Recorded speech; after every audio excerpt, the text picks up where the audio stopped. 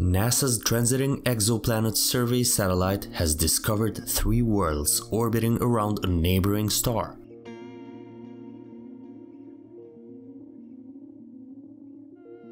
The newfound worlds orbit a red dwarf star just 73 light-years away from Earth in the constellation of Pictor.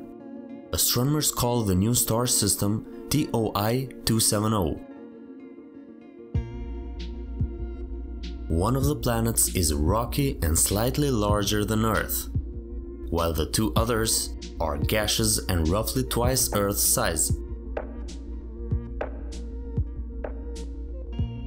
What's more interesting is that the TOI 270 star is nearby, making it brighter for viewing. The star is also quiet, as it has few flares and allows scientists to observe it and its orbiting planets more easily. The planets of our solar system are either smaller, rocky ones like Earth, Mercury, Venus and Mars, or much larger planets like Saturn, Jupiter, Uranus and Neptune that are dominated by gas rather than land. Planets half the size of Neptune are very common around other stars, but we don't have anything like that in our solar system. Based on the available data, the team believes that all three worlds are tidally locked.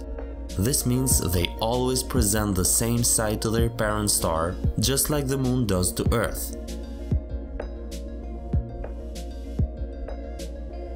The rocky super-Earth is planet B, which orbits its star in just 3 days. Meanwhile, the sub-Neptunes, planets C and D, complete orbits of the star every 5 and 11 days respectively. Normally this kind of star would be active, sending out flares and enduring solar storms. But this older star is quiet and provides its planets with a steady brightness. It's only about half as hot as our zone. TOI 270 is the perfect target for the upcoming James Webb Space Telescope. NASA's $8.9 billion telescope will be able to measure the composition of planets' atmospheres for oxygen, hydrogen and carbon monoxide.